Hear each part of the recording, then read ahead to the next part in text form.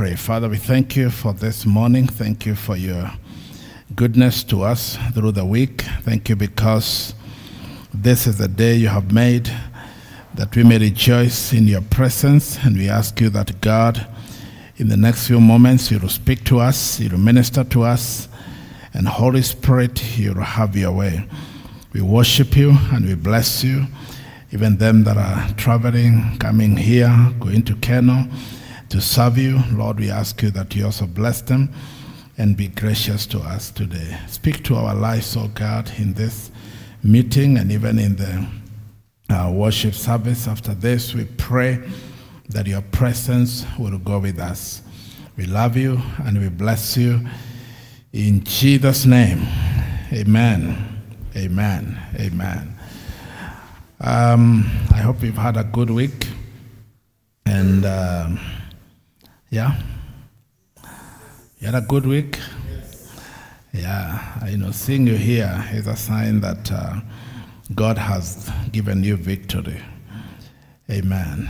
If you, if you didn't have the victory, you could not be here. But uh, we are here because there are things we have conquered, there are things we have overcome, and that's why we are here.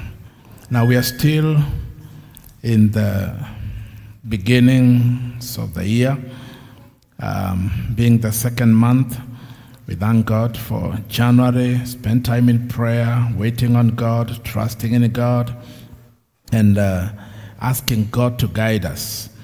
And uh, at the beginning of the year, we also, you know, plan, we think together, we plan together, we uh, look ahead to think what are we trusting God for in the in the year. And uh, we have plans, but we also know that we trust in a God to fulfill um, these these plans. We, we, we have plans to be in the house of the Lord every uh, week, to gather every Sunday. We have other meetings, we have other forums. And, and all these are important because, you know, we are, we are like the, the Trinity of God. We also, we are triune uh, beings where we have, we are, we are a spirit, man is a spirit, and uh, living in a body, and we have a soul. And therefore, we, we need to grow in all these aspects that the body is taken care of, the mind is taken care of, and also the spiritual man is also taken care of. And that is also very important. And the reason we come up with uh, different programs and schedules in the, in the week, in the month, in the year, it is so that the whole being, the man, is growing. And, and I'm so thankful for church because church, we do not just grow spiritually, but it is through church we have grown even mentally, even getting a lot of wisdom that when we come to church, there's so much more than just, you know, the spiritual well-being, but there's so much that also we grow in our interpersonal relationships and skills, in our families, raising children, parenting. There's so much we, we gather in the church. And therefore, you know, church is like a, is a school of life, yeah, so to speak. It's a school of life. There are people who, and there are things we learn, we teach in the church that people do not actually have opportunity to learn from anybody else. Yeah? There are things you, you learn in church that your parents never taught you. Are you, are you, do you agree with me this morning? Yeah, there are things that your father, your mother did not teach you. Even your school teacher did not teach you. But you come to church, and uh, some people think church is just coming, singing a few songs, hear the word, and go home. You know, it's more than that. There is a lot that happens in the church. There's a lot of wisdom, there is mentorship, there is growth, there is uh, networks that happen in the church. And we want to take advantage of all that so that you don't just come to church and you're uh, alone or you're by yourself. There also is a, it's also a place of uh, networking. Amen. It's a place where we come and network with each other because we are gifted, just like we look different, we are gifted in, in very diverse ways, very, very different ways. And therefore, we, we need to, to harvest or harness all that that God has given us, the body of Christ. The other thing about church is that uh, the Bible teaches that we are one body. And Apostle Paul uses the analogy of the body, and he says, Though we are many, we are one body. Just like your body has many parts, hundreds and hundreds of parts. I don't even, maybe you don't even know how many parts. But though all those parts are individual parts, then they are also one. In the whole is called your body. And when one part is not well, the whole body is not well. Amen. Why? Because the body is united. Even your finger, if you have a problem with your finger, the whole body is not at peace. I've had people say, Oh, I didn't sleep last night, I had a toothache. I mean, just a little part of the body, but you can't sleep. The whole body cannot sleep. You can't ignore the, the, the tooth and say, uh, You're just a small part. Well, I will ignore you and I'll go to sleep. No, you can't do that because the teeth or the tooth is part of the body. It's part of the body. So, the same manner, when we come to the body of Christ, we realize that we are many, but the intention and the plan of God is that we become one. Amen. And, and this morning, that's, that's my goal. I want to uh, begin or teach a little bit about the, our oneness, our unity, our unity, because just like Christ was united, you know, Christ is a very good example of, of unity, um, or, a, or a good teacher of unity, because we see him totally united with his Father. And, and, and he, he refused to be, um, uh, to be distracted, he refused to allow anything to come between him and his Father. They were totally one. And, and he kept on saying, I and my Father, we are one. And you know, his victory was based on that unity. That I and my Father, we are one.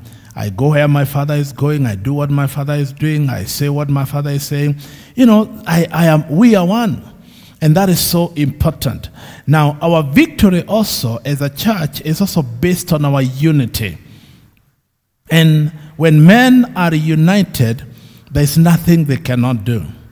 It's not about how many they are, it is about their unity. When people, we have seen even a country like Kenya, 47 million people or 50 million people, if Kenya becomes disunited, you know, and they're divided, then it cannot stand. And Jesus said, a house divided cannot stand. It doesn't matter. So there is, it doesn't matter the numbers. People can be one billion, but if they are not united, they cannot stand. But you can find three people, ten people united and doing great things, changing great, you know, uh, changing lives, bringing transformation. Why? Because they are united. And when Jesus was teaching about unity, he actually talked of two. And he said, whatever two of you. He didn't say two million. He didn't say two thousand. He said, whatever two of you shall agree. Amen. How many? Two.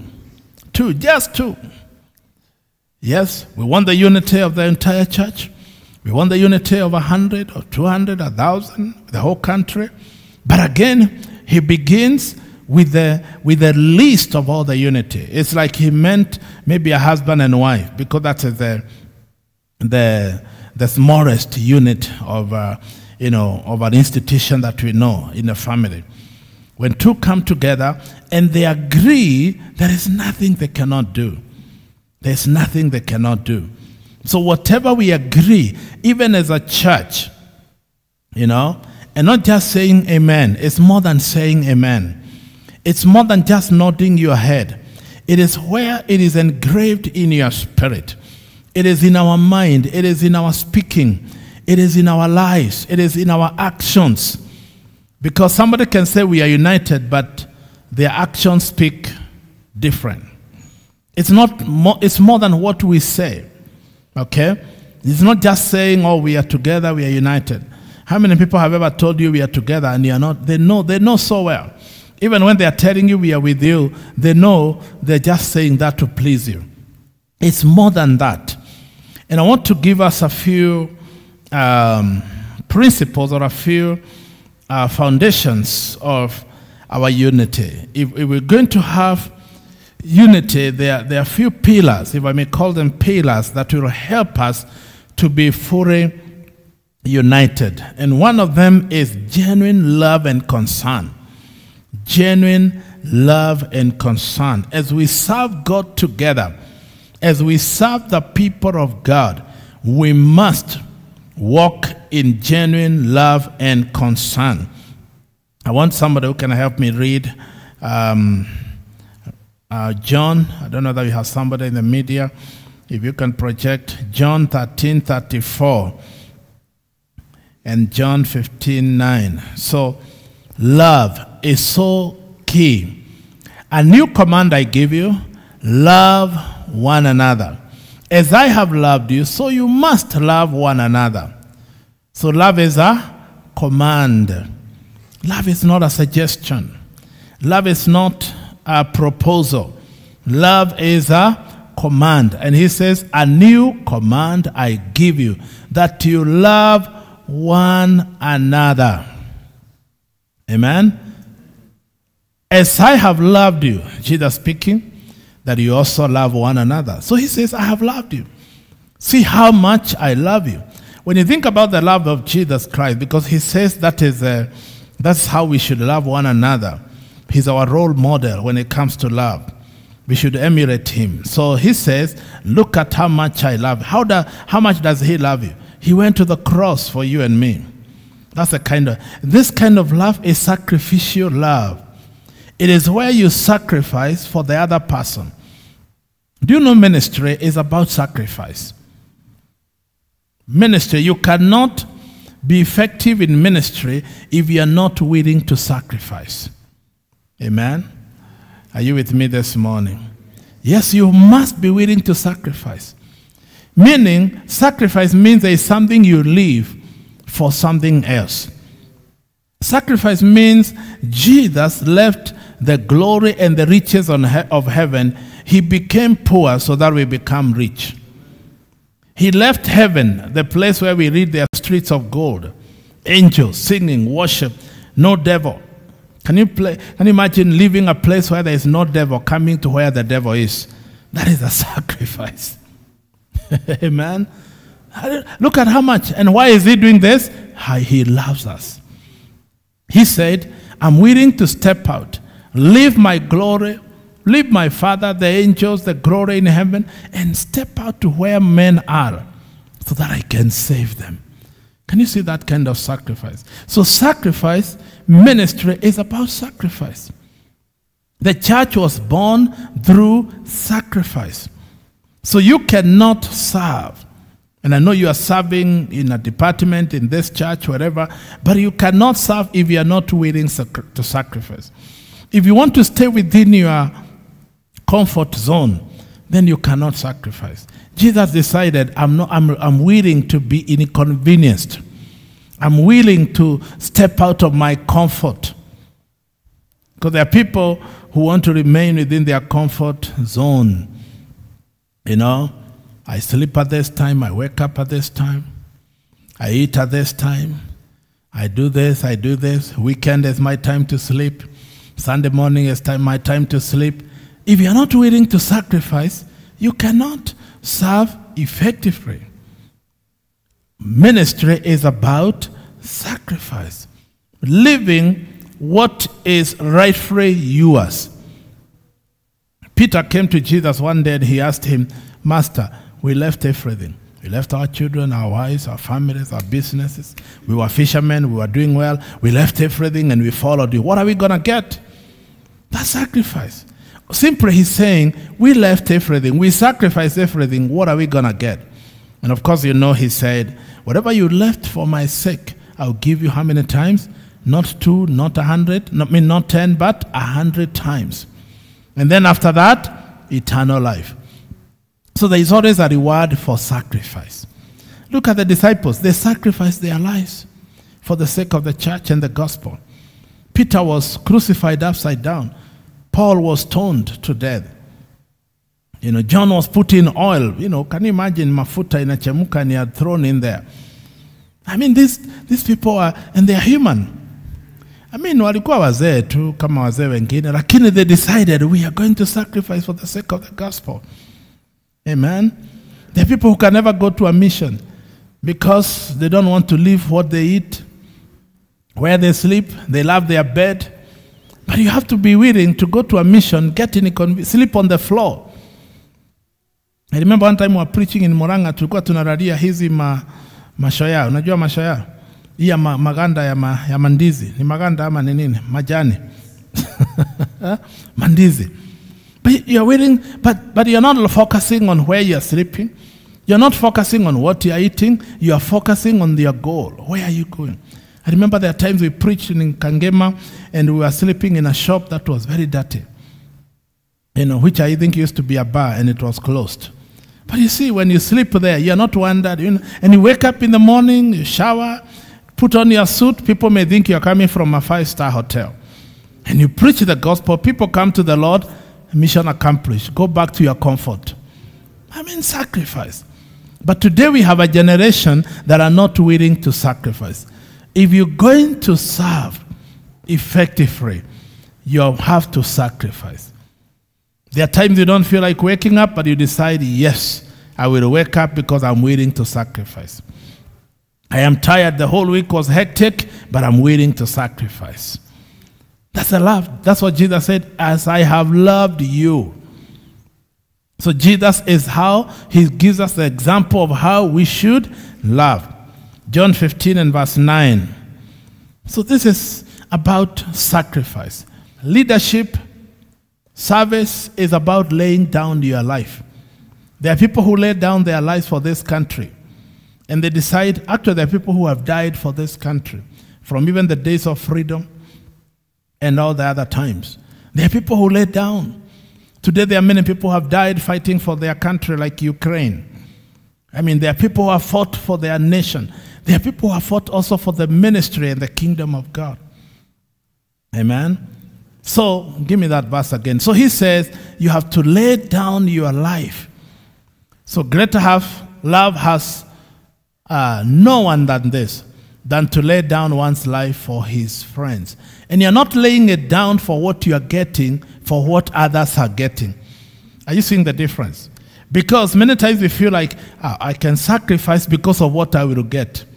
Here, you are saying, I will sacrifice not for me to get, for somebody else to get. You see the difference? Yeah. For somebody else to get. It's not me. I'm not thinking, when Peter is being crucified, he's not thinking about himself. If he thought about himself, he would have said, No, no, no, forget about it. Let me, let me go back to fishing. But he's thinking about how many others will benefit. So you think about how will my service, my sacrifice benefit other people, not myself. You cannot be a leader, you cannot be a true servant if you only think about yourself and your needs. Your life is too small to live just for your life. All my food, my house, my car, my whatever, my, my, my, my, my. No. I mean, your life is too small. Amen. You have to be bigger than that. When you look at Jesus, he's not thinking about himself. When he felt a bit weak, he said, Remove this cup from me. But then he said, Not my will, let your will be done. What is the will of God? I lay down my life for the sake of the whole world. I mean, that's how, that's the foundation of service. That we lay down our lives for others. Hallelujah. We have people that have laid down their lives for, um, for the gospel. People that have suffered for the gospel. I was listening to the testimony of the late uh, uh, Reinhard Bonnke, and he said how he left his country, Germany, and um, he came to South Africa. He was sent as a missionary, and he felt, I don't want even the, the way they have sent me and whatever I'm doing, I'm not fulfilled. I'll step out and begin to go to the villages and go out there and evangelize. And then he said he would travel, people would invite him to, and he would travel for a whole day, I mean, half day, to go and minister, six hours. And then find five people waiting for him. And he started asking God, God, I think I, I didn't see it right. Maybe the vision I saw was not from you. Because God had called him and he showed him a vision of Africa washed by the blood of Jesus. But he now he's trapped. So you are thinking Africa, Africa, one almost one billion people, and then you're you're thinking five people. I mean, there's no connection. The, you know, discouragement could settle in. You're thinking Africa, but here you are seeing five people. And you have traveled for how long? Six hours to go and minister to five people. Because many of us are not willing to go through the process. We want the outcome, but we are not ready for the process. Yeah? We want the nyama choma, but we don't want the, to burn our fingers, turning and chomaring and whatever, na makaa, na uchafi ya makaa, na nini, na, na, na moshi, na, you know, we don't want that process. But we want the nyama choma on the table. But there is somebody who burnt their fingers. Nothing just happens. But he decided, I will be consistent. I will be persistent. We were here on Friday Saturday and with the Life Ministry, and, and I shared about three P's that are important in winning souls and evangelism. And one is persistent. And the other one was, those who are here, huh? power. And the other one was, huh? I said persistent, power, and preparation. You have to prepare. And what we are doing right now, I'm preparing you for the call of God in your life so that you can serve God effectively. This class is for preparation. But again, you have to be persistent. Praise the Lord. Before Reinhard Bonnke died, he witnessed crusades in Nigeria that one crusade would have like 1.6 million people. One crusade. Now you can imagine there's no relationship between, or rather, there is a relationship between 5 and 1.6 million. If he gave up on the 5 and thought, what am I doing here? Let me go back to Germany. Let me find something else to do. He would never have seen 1.6 million people. Hallelujah. And he would see like 100,000 people come to the Lord in one crusade. Why? He did not give up on the five. It's a process. When Jesus came, he did not start, start with the crowds. He didn't start with the, with the multitudes. He started with just 12. He called 12. And he said, Hey, guys, come. And the Bible says he spent time with them. He taught them. He, lay, he poured his life unto them. Amen. Praise the Lord. Hallelujah. I'm talking about sacrifice. Give me that verse again. We, we need to look at it up to verse 15. Glory to God. No man has greater love than to lay down for your friends. Look at verse 14. You are my friends if you do whatever I command you. Uh-huh. No longer do I call you servants, for a servant does not know what his master is doing. But I have called you friends. For all things I heard from my Father, I have made them known to you. So, number one, in our service, in leadership, is genuine love and concern. where we love God and we love God's people. And we love the lost. Amen. We love God. We love the people of God, that is the church, the believers. But we also love the lost. Amen. Because Jesus loves everyone. He loves those who are born again. He also equally loves those people who are not born again, that they may come to Him. So, love is key. It's my prayer that this church will be uh, a church full of love. We went to South Korea one time and we found a church called, you know, the Church of Love. I think they call it Sarang, Sarang Church, the Church of Love. And it was a big church, like a whole city. May this be the church of love. That anybody coming, you know, it can start with two or three people. And we spread the love. That, you know, forget about Valentine. Amen. Love is not a day thing, it's not an event. Amen. Okay, I'm not against Valentine. Some of you, I know you are prepared and you started wearing your red and white. That's okay. But, but you see, what I'm saying is that let's forget about love being an event. And, and this kind of love we have read, it's about laying down. Valentine, most people think Valentine, they think about what I can get. They don't think about what I can give and share and be a blessing. They think about what am I going to get. It is selfish love. That is lust, it's not love. Love is laying down your life for others. Amen. We have been to Kenya for the last two days. It's that kind of love that we can travel and lay down our lives for others. And we are going back this afternoon. We lay down our lives for others. Hallelujah. Even look at your money. How much do you just spend on yourself and yourself? If you, if you never give to save other people, then you only think about your own needs. Every time you think it's about my needs, my rent, my bills, my food, my transport, my what, my what. But can you live your life larger than that? Where you live your life not for your sake, but for others. Hallelujah. I, I think I'm, I'm in the life where I don't think so much about myself. If you look at my week, I don't spend my week thinking about myself. I spend probably 90% of my week thinking about other people, how I can be a blessing. I spend hours and hours and hours preparing how I can teach and bless and bless and bless other people.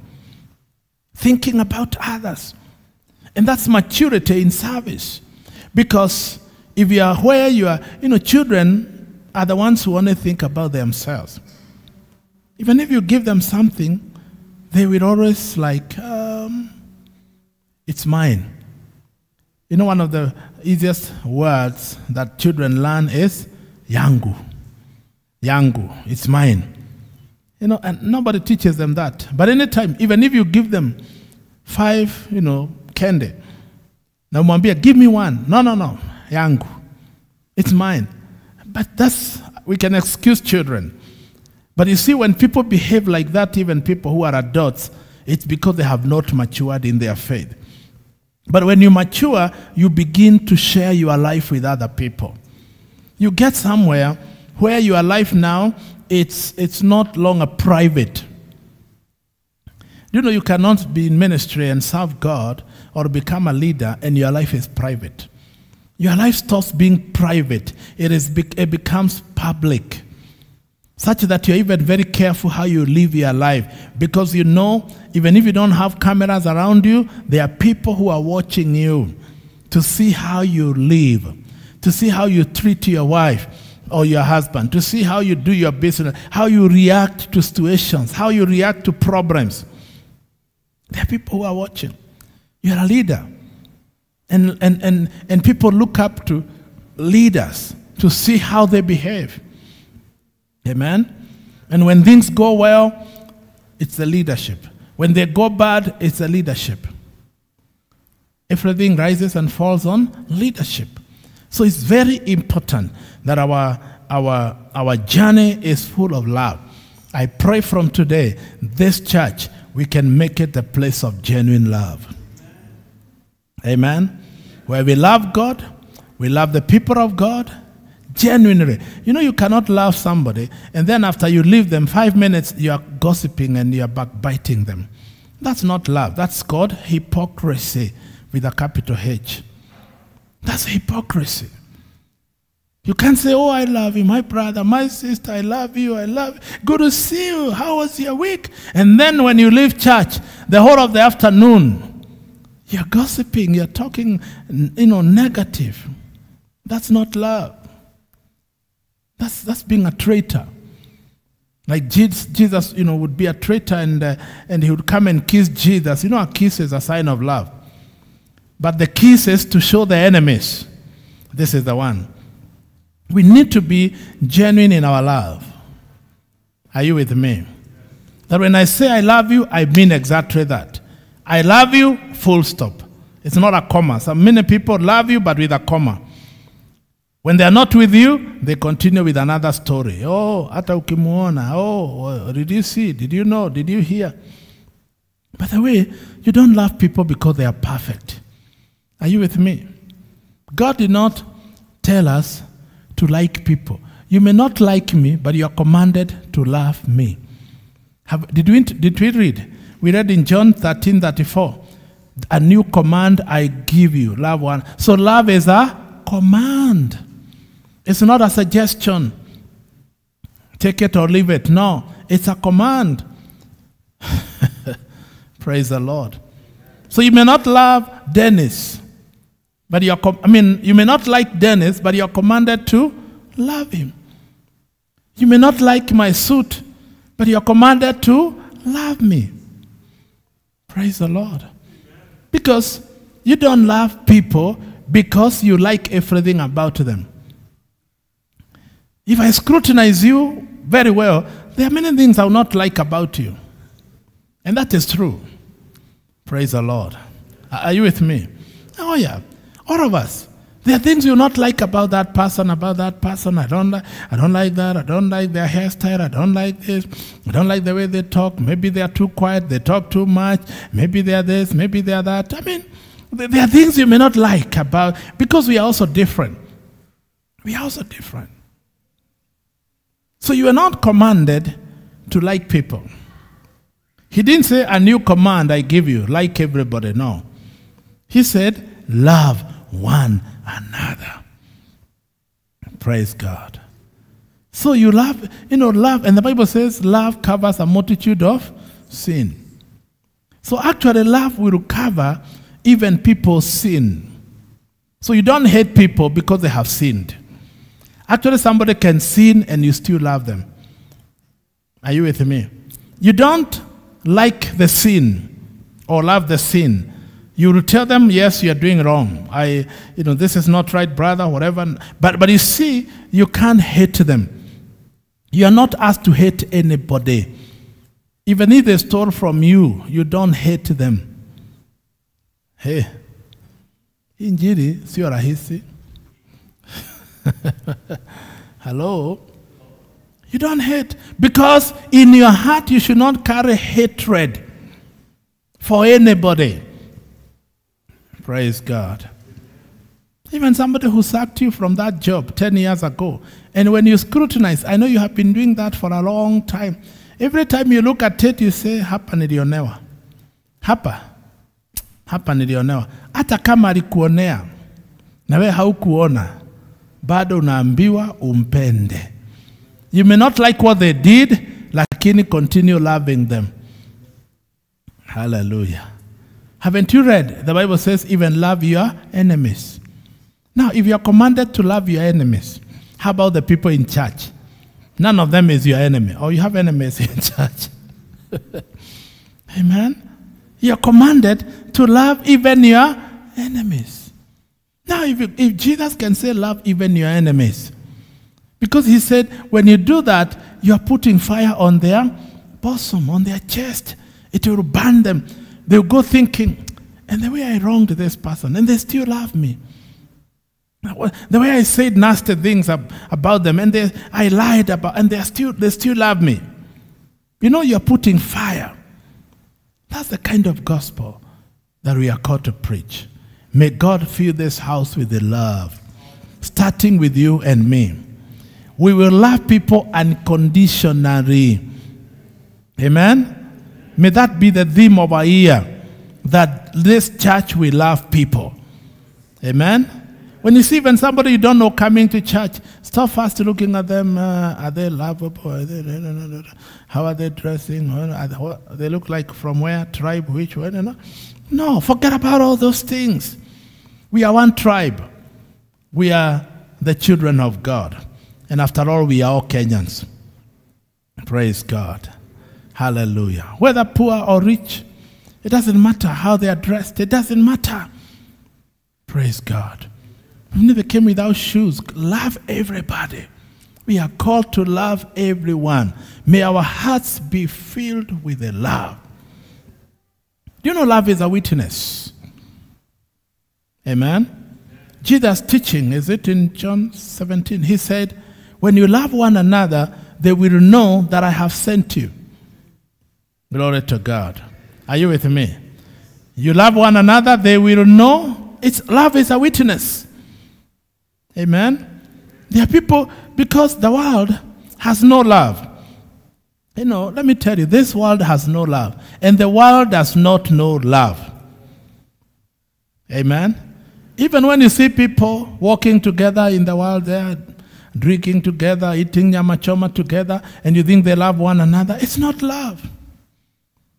It's convenience. After two months, you hear that there be two cause and, and what they are happening and they are fighting and they are all over. It's not love. It's only in church where we know true love because God is love. If people are not with God, they cannot know true love. Praise God. So we can make love our witness. Praise the Lord. Are you with me? That somebody will come to this church for the first time. Somebody will watch us on TV. Do you know love can even be seen through the screens? Yeah? Somebody who really who loves people genuinely. Even if you have never met them and you watch them on TV, you can tell that person they are genuine in their love. Even if you don't know their name. Love can be through the radio. Love can be through social media. There's somebody who can watch on TV and you tell, ah, who you? Ah, he can talk about people, but he doesn't love people. Hello, somebody. Praise God. Yeah, love is a witness. Love is founded in God. For God so loved the world. The world can sing about love. They can sing about Maraika na kupenda. They can sing about whoever else. Especially they love to sing about women. Sijui Katerina, sijui Wachiko, sijui nani. Akinyi. And they sing to women about love, trying to show love. But let me tell you, they don't know anything about love. They do that for money. They do that for the song to have a hit. But let me tell you, the church we are the custodians of love. So if there is no love in church, don't look for love outside there. Praise God. I've had people leave church and they say, oh, mimi sikuwa na upendo huko, you know, people don't love each other. Go and try outside there. Let me tell you. Outside there, they will misuse you and dump you in the name of love. Amen. But when we are in church, May we be the carriers of love. May God fill our hearts with the love. Genuine love. Not that kind of love or just when I need something or when you're inviting people to help you, to support you, when you have this or the other. No, no, no, no. Love is not using people. Amen. Love is giving. The foundation of love is John 3:16. For God so loved the world that he gave. Full stop. So you cannot love without giving. You can give without loving, but you can never love. Anybody who is full of love, they are givers. One of the tests of love is giving. Praise the Lord. Anyone who is full of love, they are givers. One Bwana Yesu asifiwe. Sio inatosha ya leo. Even if I don't speak anything else, if, if you would take that, the people that are here, and we sambaza that to everybody else in this church, and everybody in this church is full of love, let me tell you, we will see a different church where we love each other unconditionally. Praise God. That our love is genuine. In the book of James, he says, Don't just love with words, but with actions. Because sometimes we can just say, Oh, I love you, I love you, but, but when somebody is in need, we are not there. Our love should also go to actions. We cry with those who are crying, we laugh with those who are laughing.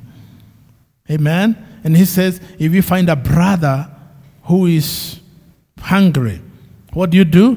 Give them food. It is a demonstration of love and your faith.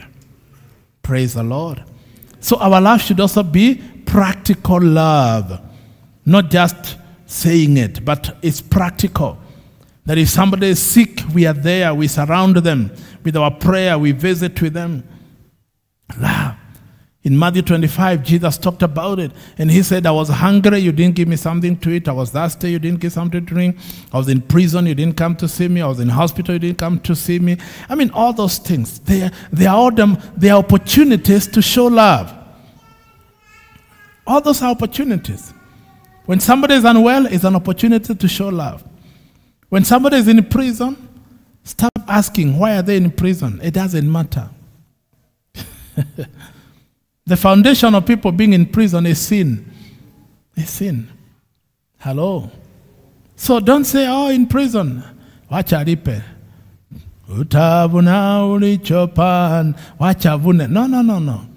Don't judge people. Don't condemn people.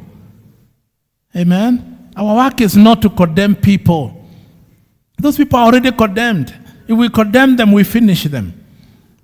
Are you with me? Our work is not to condemn people, but to love them unconditionally. They're in a hospital, we visit, they show the love of Christ. They're in prison, they are hungry, they are thirsty, they need clothes. We, we just visit. Like now, there are so many people who need food. And we decided the other week we had a meeting. We'll have a box, I don't know that it's here already, where you can bring something every week for somebody who is hungry somewhere. And don't say you have nothing. Nobody has everything, but everybody has something. It doesn't matter. Even if you bring one kilo of unga, it will help somebody somewhere.